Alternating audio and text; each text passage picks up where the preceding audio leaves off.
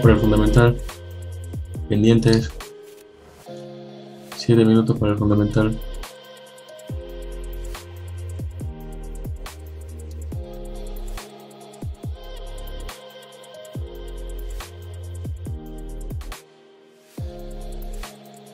Entonces, ¿qué, qué espero yo?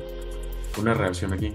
Tengo en medio de la zona un bearish break black de 15 minutos y estoy bien. Si, que sí, bearish break black de 30 minutos.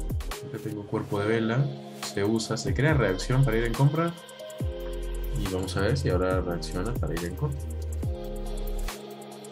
En caso de hacer re-entry, ¿no? por encima de esto. Jugamos, ¿no? Aquí, re-entry, stop aquí. Puede ser por ahí, correcto. Si entras en el límite superior, proteges la vela que formó el Fair Gap. En este caso la vela bajista, esa vela bajista. Aunque puede ser un Unison, por supuesto. Si ven mi spread, grande, ¿no? Y entré porque volvió, ¿vale? Entré porque.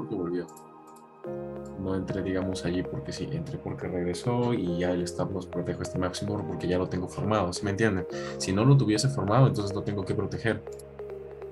En el caso de la libra, entré. A mí, naturalmente me gusta ver reacción. Y, a ver, casi se me escapa el clic. a porque bueno, la zona ya la teníamos marcada.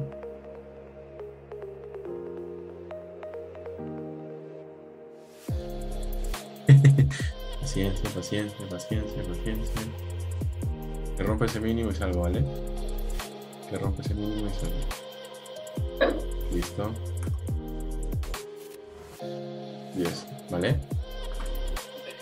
Breaker, breaker. Y se tiene que tomar decisiones, ¿no? En este caso, si dio un 1 a 1, si llego a dar un 1 a 1. Tengo el stop loss en 200 puntos. 211 puntos era, lo mostré. 300 puntos. 12.5 lotes a 10 pips, que son como 1.250 dólares. Resten 1.250 menos 550 y terminan en 700. Y se acabó si es que esta operación se cierra en establos, ¿de acuerdo? Así es como se hacen las matemáticas. Comentar que, que la operación que se tomó hace un momento en Libra es una operación que como ustedes pueden observar se colapsó con 10 pips de, profit en parciales al 50% y tiene todo el sentido del mundo que yo reduzca mi stop loss a poco, menos de 4 pips, casi 4 pips.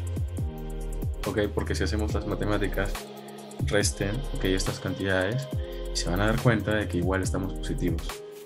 Y es lo que les sugiero a ustedes. Si ustedes tienen un 1 a 1, ok, tranquilamente pueden colapsar el parcial al 50% o un poco más del 50% y pueden tomar dos decisiones a partir de ese momento. La primera es reducir el stop loss a la mitad de manera de que si el stop loss les es tocado, ok, eh, listo, igual terminan en profit como lo que acabo de hacer. ¿Esto por qué? Porque si tienen un stop loss todavía a la mitad, te dan margen de movimiento al precio. Ahora, no necesariamente si es que tienen 10 pips de stop loss, ¿no? Pero pueden usar de repente un stop loss de 20 pips en el caso de que sean ese tipo de traders, reducir su stop loss a la mitad, solo con el fin de darle margen de movimiento al precio. Y lo siguiente es mover el stop loss en definitiva al break-even, porque si me toca break-even, igual termino positivo. Y mi libra, miren lo que pasó en el Reclaim Black. La idea es que si tienen un stop hunt, pero terminaron esa operación positiva, la dejemos ahí. Siéntanse satisfechos con el simple hecho de haber terminado positivo una operación. Así sea la única operación del día, siéntanse satisfechos por eso.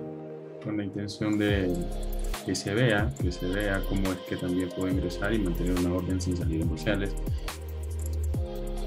Tenemos de la entrada aquí 30 pips. Si está a 1 o 2 pips, una decisión consciente es salir también.